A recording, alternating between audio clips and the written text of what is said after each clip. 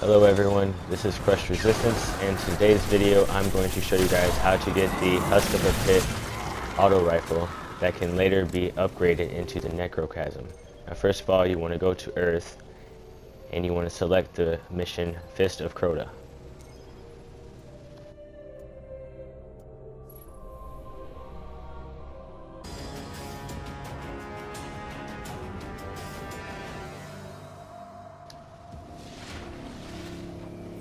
Sardon You don't have to fight all the enemies here. Earth. You can just run straight the past them, or you can fight them. It's completely up to you. And see to his end.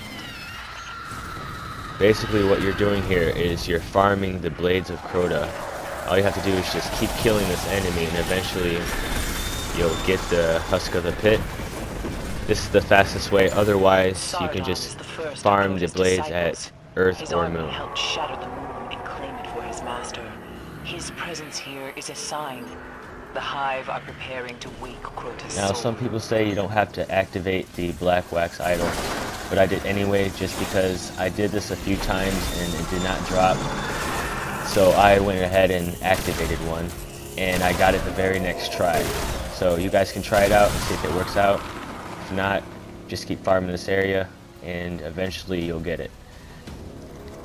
If you like this video, give it a thumbs up and please subscribe and I'll see you guys on my next video.